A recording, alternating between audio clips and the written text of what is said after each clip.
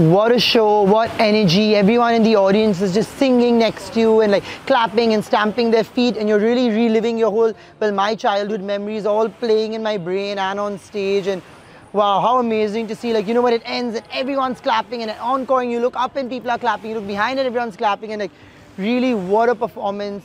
Absolutely outstanding. Congratulations to the NMACC and really no one else could have done this.